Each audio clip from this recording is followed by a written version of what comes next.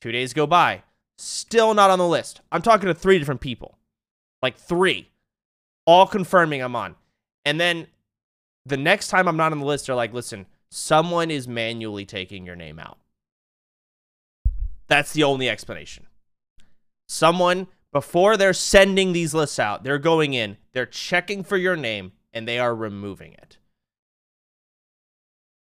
I don't know. Someone was pissed.